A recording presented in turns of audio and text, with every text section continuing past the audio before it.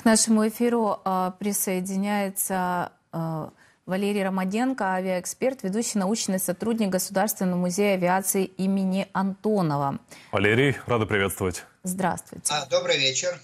Валерий, если сравнивать системы ПВО, которыми обладает сегодня страна-агрессор Российская Федерация, и те системы ПВО, которые сегодня есть э, в Украине и все еще продолжают поставляться сюда нашими западными партнерами, где какие преимущества есть у каждой из этих систем?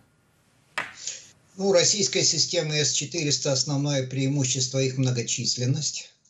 Вот их намного больше, чем у нас. Но они более современные, чем наши С-300, например, да. А если сравнивать с западными системами, то они находятся между НАСАМС и э, Патриотом, да, ну или между Аристе и Патриотом. То есть по дальности они соответствуют например, э, американским Патриотам, да, и даже превышают эту дальность, потому что у Патриота эм, заявленная дальность 160 километров по аэродинамическим целям, а у С-400 эта дальность, э, ну, они заявляют там 250-300 километров и свыше того, до 350 километров, да, но это, в общем-то, при различных идеальных условиях, скажем так. Вот. Э, то есть сравнивать их довольно тяжело, но теперь по эффективности. У, конечно, радиолокационные станции, которые имеют Patriot и NASAMS, они более компактные, они более, э, так, ну, лучше, э, лучше дают картинку скажем, они более дают четкое изображение и более устойчивы к радиоэлектронным помехам. Вот, потому что у них там несущая частота очень быстро меняется. И э, поставить помеху этим радарам достаточно сложно. Вот. Но, к сожалению, их мало.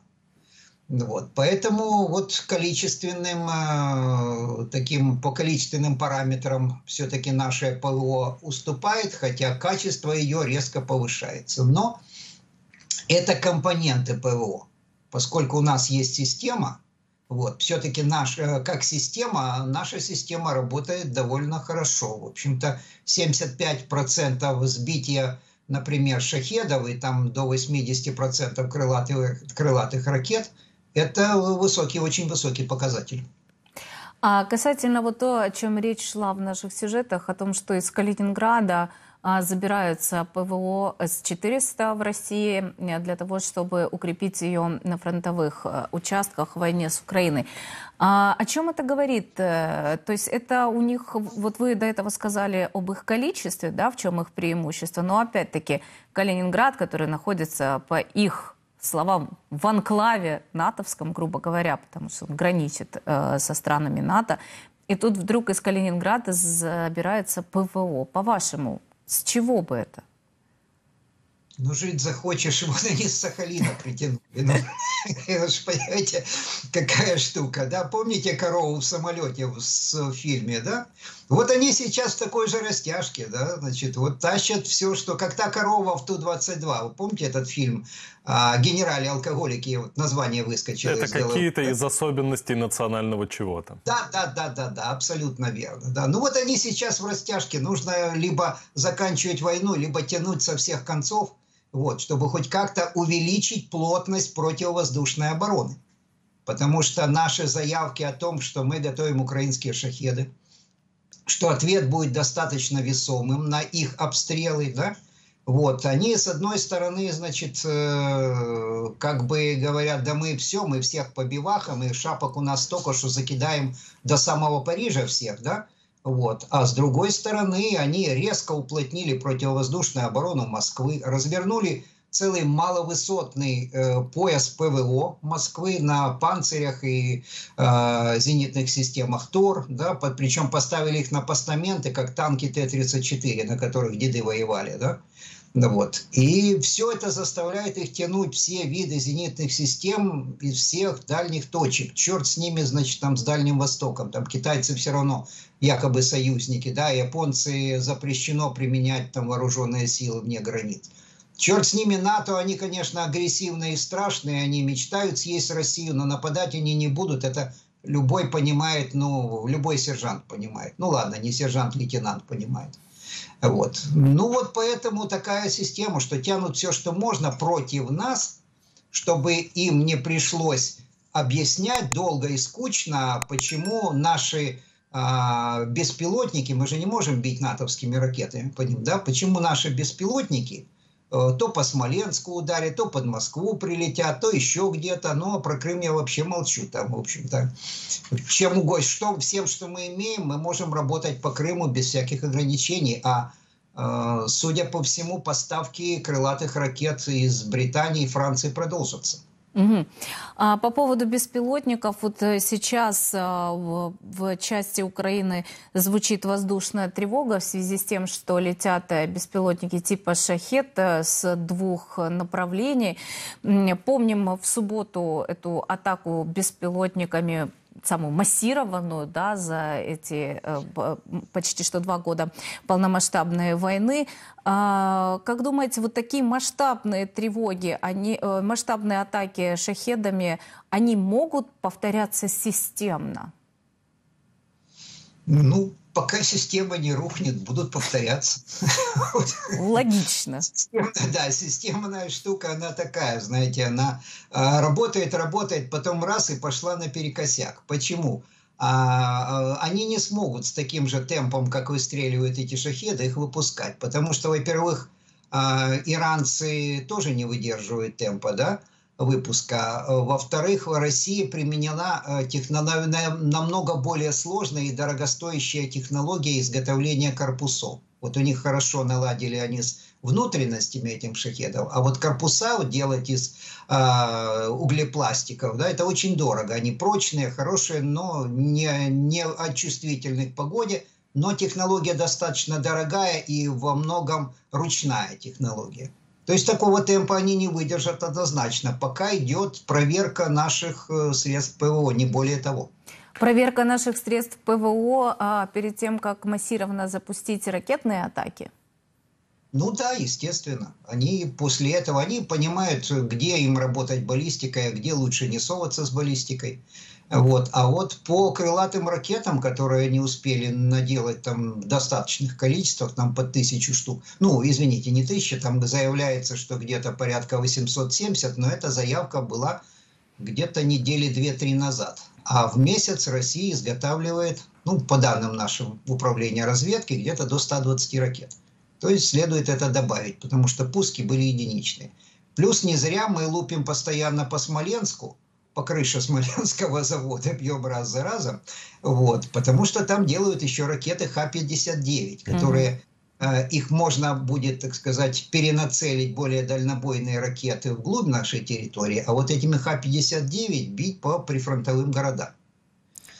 Вот как-то так вырисовывается ситуация, и к этому нужно готовиться. Но, кстати, мобильные группы, значительная часть мобильных групп а, способна будет работать и по крылатым ракетам, mm-hmm. потому что они имеют Эвенджеры.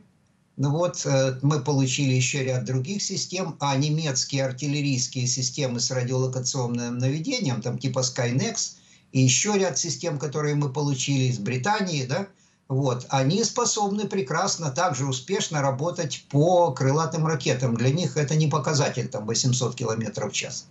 Ну, вот, они спокойно снимать эти ракеты, причем очередью из 10 снарядов. Угу. Да? Сравните 10 снарядов калибра 30 или 35 миллиметров. И 3 миллиона стоимости ракеты, плюс 3 миллиона это было в довоенных целях.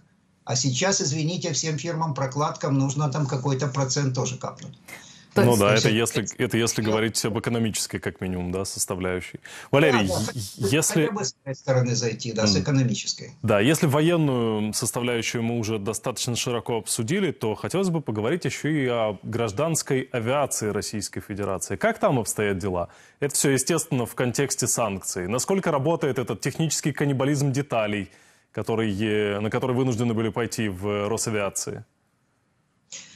Ну, страсти по российской гражданской авиации как-то несколько преувеличены. Они достаточно неплохо отыграли этот курортный сезон с потерей всего одного самолета, да и тот, в общем-то, это была авария. Вот. В целом с гражданской авиацией, конечно, ситуация грустная, но не по причине западных санкций. Вот. Там основная причина, у них бьются в основном вертолеты и самолеты Ан. Причина понятна. Все вертолеты российские на украинских двигателях, на моторсичевских, и то, что они сейчас выпускают а, на, в Петербурге, двигатели вертолетные, да, они, в общем-то, не покрывают потреб, вернее, покрывают, но так, до 50, до 50-60% потребностей. А нужны же еще не только новые двигатели, но и запасные части, которых не хватает. А я уже молчу запасные части к двигателям самолетов Ан-24, Ан-26, Ан-2 и чешских Л-410 которые россияне не получают от слова вообще. И сейчас вот с, этой, э, с этим звеном в российской гражданской авиации реальные проблемы. То есть вот тут санкции работают. А западные санкции, они обойдены довольно успешно. Вот же э, интересно, как долго они смогут э, их обходить вот именно в случае авиации, военной в частности – ну, в случае военной авиации тут как-то подсуетились, потому что mm-hmm. здесь схемы мы выяснили, передали союзникам, какие предприятия особенно активны в том, что, ну, активный, пассивный, не требуют сертификата конечного пользователя. Вот основной момент, как можно отследить. Вот. Кому в конце концов досталась деталь, вынь и положи, скажи кому. Если это Россия, извини, ничего ты не получишь. Вот. А если речь идет о том, что покупает там Киргизстан, да, и после этого никого не интересует, куда они деваются, вот это уже надо принимать меры э, финансового воздействия на экспортера подобных деталей. Ну, в этом направлении еще остаются какие-либо возможности введения дополнительных ограничений? Ну, тут есть несколько вариантов. Здесь есть кнут, здесь есть пряник. Угу. Вот. Кнут – это все-таки, чтобы э, орган, ну, надзорные органы соответствующих государств э, заставить их все-таки, э, не заставить, а обратиться к ним с просьбой э, усилить наблюдение за соблюдением санкций. Есть пряник, можно просто излишек, вот который там они кому-то с подозрительным э, партнером передают, просто выкупить самим и применить в нашей боевой технике. А вот эти сообщения о том, что в шахедах используются детали, которые заказываются на Алиэкспрессе, э, это достаточно массовая история или это просто какие-то единичные случаи, которые вот э, нашли и показали? Ну, тяги управления, например. Ну, почему не взять на Алиэкспрессе? Простой элемент. Вот. Шахет тоже, в общем-то, не тот. Э, но, в принципе, вполне, если его выбросят на Алиэкспрессе, это будет органично. Да, понимаете, это не будет там какой-нибудь западная ракета, которая, в общем-то, как она могла оказаться, да? А по своей ему сложности шахет достаточно такое простое изделие. Ну и кроме того, значит, на шахедах прежде всего стоят китайские двигатели. На иранских шахедах стоят э, немецкие лимбахи, а на э, российского производства стоят двигатели МАДО, китайского производства. То есть там достаточно много китайских компонентов и ничего с этим не сделаешь. Аккумуляторы иногда используют тоже, значит, вот э, рулевые машинки, получается, что используют ряд там контроллеры, ряд э, китайских деталей, и он попадает на шахеды. Если это довольно простое в производстве оборудование, которое вполне себе активно используется сейчас страной-агрессором, насколько Украина приблизилась к собственному производству нечто подобного? А давайте вы мне следующий вопрос зададите. Согласна. Ага, да. Окей, хорошо, пускай сюрпризом будет. Согласна. А еще вот по поводу, мы начинали с ПВО С-400, о том, что из Калининграда их забирают, и вспомнилось э, то, что мы э, говорили, говорили чуть ранее в эфире о том, что штормом э, смыло в Крыму в том числе и оборонительные, так называемые, участки вокруг Керченского моста. Возможно, это это были и системы ПВО, возможно, и с этим еще связано, как думаете, то, что эти С-400 из Крыма забирают? Ой, из э, Калининграда забирают? Да нет, системы ПВО ставят на горочке. Там mm-hmm. радиолокаторы, им нужно далеко, вот высоко сижу, далеко гляжу. То да? есть вот Крымский это... мост обезопасить системами ПВО достаточно сложно, получается. А там не только системы ПВО, там и сидят пара МиГов 31-х, которые mm-hmm. тоже в случае вылета ракеты, обнаружения ракеты, они могут подняться, и они оптимизированы как раз для поиска и уничтожения крылатых ракет. Там применено все. Там дымовые завесы, там, значит, постановки радиопомех, там а баржи затапливаются, в случае все перегорожено баржами и какими-то старыми судами для того, чтобы туда не прорвались морские дроны. Да? То есть оборона там очень серьезная. Этот комплекс, ну, естественно, если у него дальность 300 километров, там в какой, ну, допустим, что российские данные соответствуют правде, вот, значит, э, то он, э, хочет он или не хочет, он в какой-то мере будет прикрывать вот эту, этот Крымский мост. Хочет вот, или не хочет, это Ну, дело в том, что по дальности, если вы э, циркулем прокрутите, да, то он достает до этой зоны. Кроме того, ракете же нужно пролететь, там, допустим, над Азовским морем, mm-hmm. да, чтобы... А это зона поражения вот этого комплекса. То есть каким-то образом он будет в этом участвовать. Понятно. Спасибо большое. Спасибо за предоставленную информацию. Спасибо за не предоставленную информацию. Тоже очень важный момент в данном случае. Нет, нет, все в порядке. Как раз это важный как момент. раз за, за эту историю, да. Валерий Романенко, авиаэксперт, ведущий научный сотрудник Государственного музея авиации имени Антонова, присоединялся к нашему эфиру. Спасибо.